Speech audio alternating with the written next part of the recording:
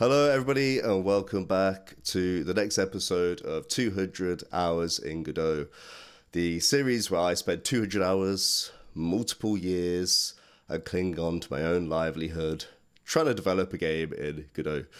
Uh, it's definitely been quite a while since I did the last series. I think I've been at 120 hours so far for quite a while, but uh, I've picked it back up we're gonna start doing some Godot, and I'm excited to show you guys what's been happening.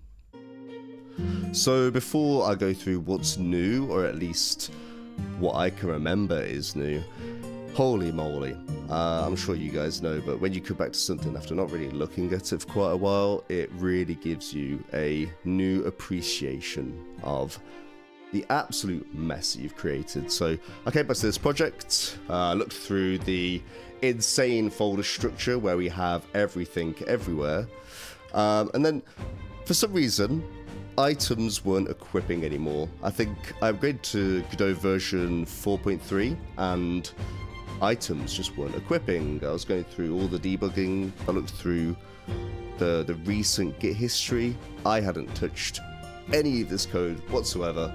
Um, and just, yeah, one of the real things that made it difficult is, you know, I have like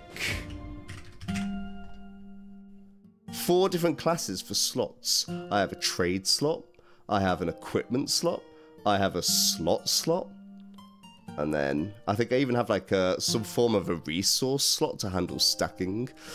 And it's just insane, and it makes it like, it just makes debugging really difficult with this, but it's just one of those things. At the time when I created this, one, I didn't really have a good idea of, oh, I'm going to need multiple different slots with slightly different uses. Um, and also, I just wasn't particular familiar with the Godot either, so I wasn't crazy comfortable just kind of knowing the best thing to do. Um, but on the flip side, it all kind of works. Anyway, I did manage to fix um, the issue, and that involved changing. And if anybody knows why this helped, I preload the player equipment. The player equipment is just a resource with the equipment in. It's fairly simple, but um, when I change it to load, it suddenly just works. So if anybody has any idea what was going on there, that'd be quite helpful because I spent probably two hours just stepping through everything, trying to figure out why the thing that worked didn't work. Side note, I don't know if anyone has any experience with like unit testing or if if that's what people do in games. I'm quite interested to know that. Not having unit tests, I feel like was a little bit left me a little bit vulnerable, let's say. So this is the village that we've been making for God knows, the past six episodes. Essentially, what I've been trying to do now is, I wouldn't say copy Pokemon, but heavily take inspiration from something like Pokemon. So instead of this kind of big village, we did some quests, we did quite a few little bits of bobs here, and there's a lot of room to do more things. I think this would be quite overwhelming to drop somebody into. So I have just started working on like a little bit of a small town. We could do a very simple quest. I've got I'll show you. I'll jump into it in a second and show you what I've got. But I just want to make something that's quite small. You're not confronted with lots of different choices and options and shops, and it kind of could just guide you into something, maybe even tell a story, and then you can evolve later into the town. I think the game will make a little bit more sense. Just a quick little run through of more of the kind of like designy things that I've added. Uh, like I said, heavily inspired by Pokemon. We have uh, Mom, She'll say things, blah, blah, blah, blah, blah, yada, yada, yada. See you later, mom. Uh, we have Tiny Tim, who kind of gives the guy, you uh, your first quest. Very simple. Just go down into the basement, uh, kill a slime. Oh, I don't know why it's done that. Uh, I've now changed it so that if you don't have a weapon, you will fist the monster. Oh, I just hit a 50 because I'm wearing some crazy armor. Uh, then if you equip the sword, you'll slash. Uh, I've got some plans to kind of put in like bows and arrows, magic spells, different weapons. That'd be really cool. Um, and yes, I think that's the majority of the the kind of map. That's still a little bit of a work in progress, but I think it makes a bit more sense. I've added in, which you might have seen, descriptions for items. So this is quite cool because it just gives everything a little bit of flavor text now. So I've added quite a lot of different items. It's quite a just one of those things that when you make an RPG, you just need to add in loads of different items with different text uses, and it's just one of those things. First on the list of never-ending things that always need doing is I've put in some really basic saving and loading. So when I click save, it should hopefully save it. And Then when I click load, right now it basically only shifts the uh, position of the player, but we can load. We don't have anything cool like save slots or anything like that. But um, fundamentally, I'll leave a link. There's a there's a um, guide on the actual Godot website of how to save and load, and it's fundamentally a very simple thing. Uh, we essentially add in what nodes we want to persist. Uh, we add them to a group. We can then put a, me a method on that node called save. We save that into a JSON uh, handle. How we how you handle that is going to be very different game to game. Like in RPG, we're going to have to have a lot of states loaded, saved, and then also kind of uh, persisted throughout the actual game itself. Like if you change areas, stuff like that. Anyway, long story short, we get the nodes in the persist group, we call a save method, we basically shove it all into a JSON file, save that, Similar thing with loading.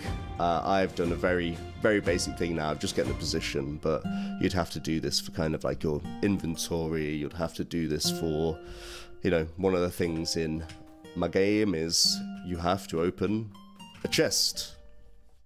And once you've opened that chest, unless it's just part of the gameplay, the chest will need to remember that it's been opened. So there's going to be a whole boatload of things. Um, I think one of the things we're saving is the sooner that you implement saving into your game and kind of work with it, the easier it is, rather than trying to retroactively go back in time and persist everything. So, definitely, I recommend just giving a go of saving and loading because, you know, maybe next game I might actually think about this before I've put in all this work. So the next uh, quite big thing that I've been working on, which is just more of like a technical design thing is how I handle scenes and changing scenes. So, initially, when I started this, I have a scene called New Home, which is the overworld. We've been through this multiple times. Uh, I also have the underworld. We've also been through this. And originally, these were completely separate scenes. So, when I teleported to the underworld, I'd create a new audio player, I'd create a new player, I'd create all the HUD again. If I went back to the new world, I had all this like HUD and player stuff kind of replicated because it, it was just very straightforward. And, you know, in maybe a lot of games, like that's fine. You can just go to a brand new scene, just create all the UI again. Uh, but what I wanted to do was I wanted to go up the stairs and I to go down the stairs without the audio starting again. Because previously, if I went up the stairs, it'd be a new scene. I'd load the audio player up again, the music would restart. Uh, this was also an issue with saving and loading because I essentially just had to have a way of having continuity between all the scenes and controlling that. So I've kind of did a little bit of a refactoring and how it now works instead of having all these separate scenes with uh, the UI and stuff duplicated, I have a single main game scene. And in here I have the player, I have the overlay, I also have uh, just a kind of like a global background stream player and I now programmatically change what the scene's in. So say for example saving and loading, I can just keep a track of what the current scene is and then I've not quite done it here, but I can keep track of what the current scene is. I can save that and I can load that scene uh, same with the background stream player.